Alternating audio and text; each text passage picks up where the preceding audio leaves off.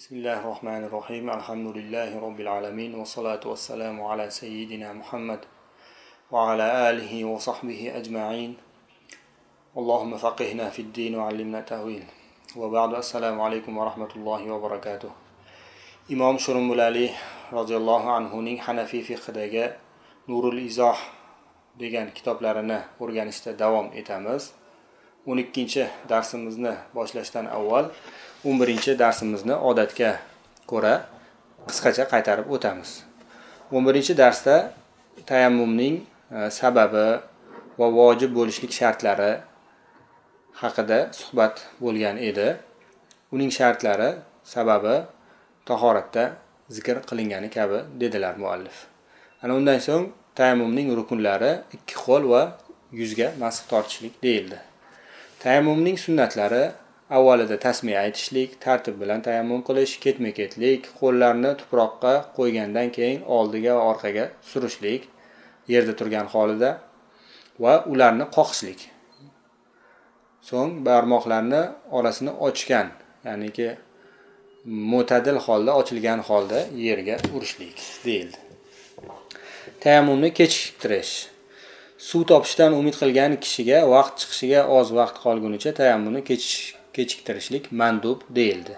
Agar suv keltirishlikni va'da qilinsa unda tayammumni namoz vaqti chiqib qazo bo'lishligi xavfi bo'lsa ham u va'da bilan suv kelib tayammumni kechiktirishlik nima bo'ladi? Vojib bo'ladi dedik. Kiyim va suv chiqarishga lozim bo'lgan asbob uskunalarni keltirishlikni va'da qilinsa qazo bo'lishi xavfi Э, bo'lmaguncha nima bo'ladi? Vaqtni kechiktirishlik lozim bo'ladi deyildi. Suv qidirishlik. Agar eminlik bo'lib va suv borligini gumon qilsa to'rt yuz qadam joygacha suv qidirib borishlik vojib bo'ladi. Bo'lmasa yo'q. Hop nafslar qizg'olmaydigan joyda bo'linsa sheriklardan olish vojib bo'ladi. Sheriklarda suv bo'lsa. Agar o'zini haqqi miqdoricha haq talab qilsa xarajatlaridan ortiqcha miqdorda moli bo'lsa unda ham olishlik shu pulda shu miqdor bilan sotib olishlik nima bo'ladi? Lozim bo'ladi deyildi.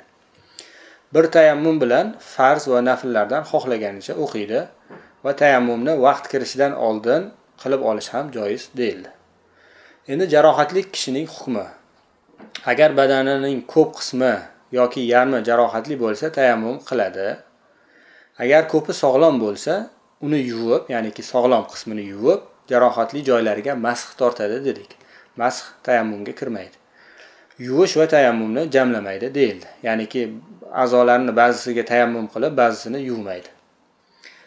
Tayammumni buzuvchi narsalar tahoratni buzuvchi narsalar kabidir va shunga qo'shimcha tarzda yetarli suvni ishlatishga qodirlik ham tayammumni buzadi deyildi.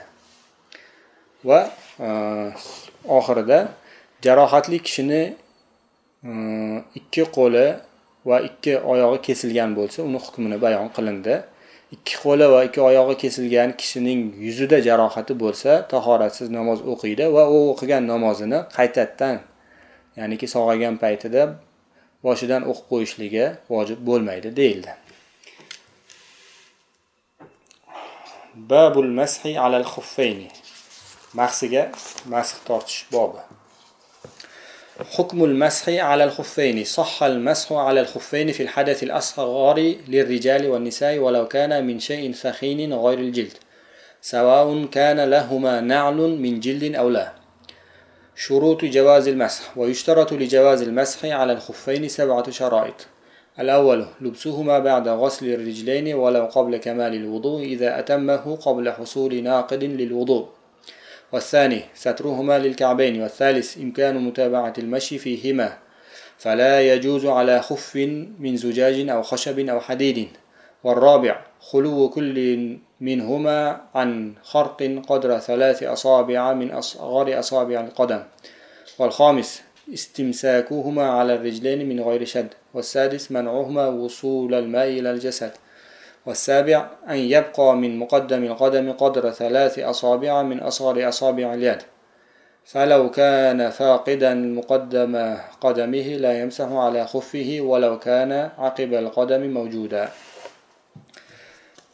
mahsiga masx tortishning hukmi kichik tahoratsizlikda erkak va ayollarga mahsiga masx tortish durust bo'ladi agar u teridan boshqa qalin narsadan qilingan bo'lsa ham Va uning osti teri bilan qoplangan yoki qoplamagan bo'lsa ham.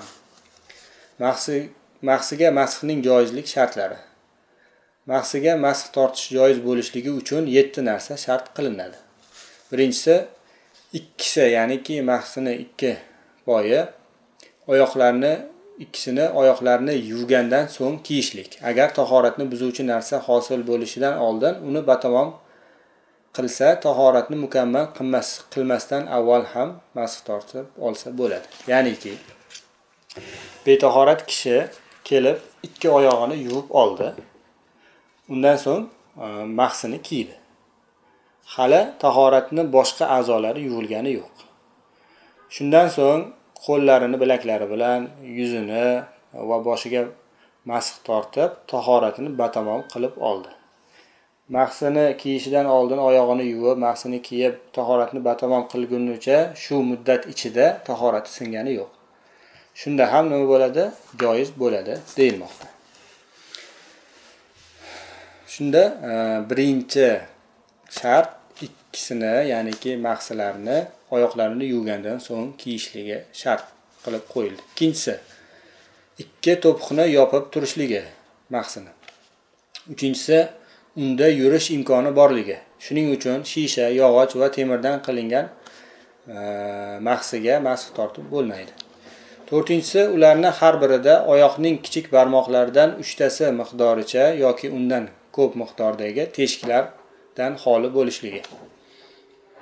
Beshinchisi oyoqlarda bog'siz tutilib turishligi ya'ni qalinligidan o'zi o'zini ushlab tura olishligi. Oltinchisi jasadga suv yetishdan man qilishi. Yettinchisi oyoqni uchidan qo'lning kichik barmoqlarini uchtasi miqdoricha bor bo'lishligi. Agar oyoqning uchi bo'lmasa tovonni o'zi qolgan bo'lsa oyoqni uchi kesilgan bo'lib unda masx tortmaydi mahsiga chunki mahsi oyoqqa kiyiladi. Bu holatda oyoqi yo'q hisoblanadi. Tovonni o'zi oyoq hisoblanmaydi endi oltinchi shartda jasadga suv yetishidan man qilinishi deyilganda qo'lni namlab turib mahsiga mahs tortganimizda o'sha namlik yoki undan sal ko'proq bo'lgan suv yetib bormasligini man qilishligi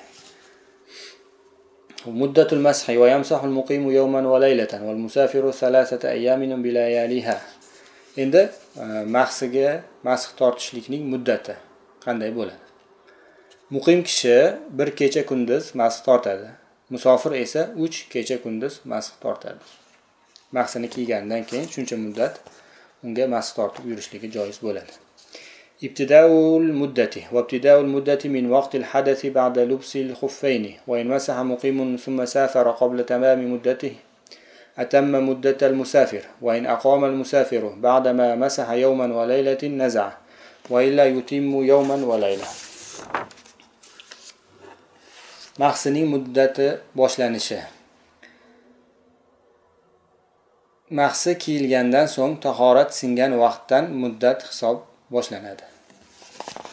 Ya'niki e, bir kishi tahorat qilib yoki o'sha e, yuqorida aytilgan holatda mahsini kiydi oyog'iga. Ana undan so'ng e, uchta holat bor. Mahsini muddatini hisoblashimiz mumkin bo'lgan. Birinchisi mahsini kiygandan so'ng. Ikkinchisi mahsini kiygandan keyin birinchi tahorati singanidan so'ng. Uchinchisi shu tahorati singandan so'ng birinchi tahorat olganidan so'ng e, boshlashimiz mumkinmi yoki yo'qmi degan shu uchta e, holatdan savol keldi.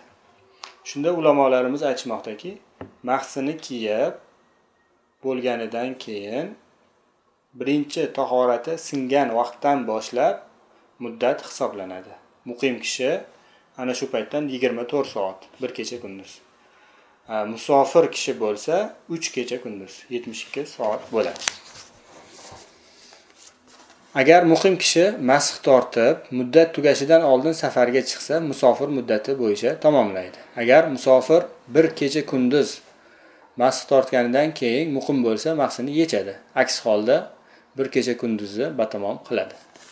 Ya'niki e, muqim kishi o'z vatanida yurgan kishiga bir kecha kunduz mahsiga masx tortishlik joiz dedik. Shu odam hali bir kecha kunduz tugamasidan safarga chiqib ketdi. Nima bo'ladi? Shu muddatni uch kecha kunduzga cho'zib musofirning muddatini tugatadi. Endi aks holda musofir kishi muqim bo'lib qoldi.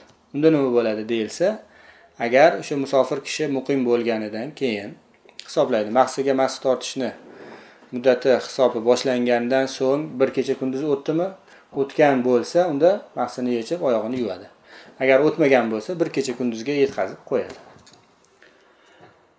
مقدار الفرض في المسح وسننه وفرض المسح قدر ثلاث أصابع من أصغر أصابع اليد على ظاهر مقدم كل رجل وسننه مد الأصابع مفرجة من رؤوس أصابع القدم إلى الساق مسخني فرزة مسخga مسخning farzi har qadamning ya'ni har oyoqning old qismidan qo'lning kichik barmoqlaridan uchtasi miqdorishadir ya'ni kichik barmoqlarni uchtasi deydigan bo'lsak bu shuncha miqdorda nima bo'ladi qadamni insonning qadamining old qismiga masx tortishlik Bu farzni miqdori.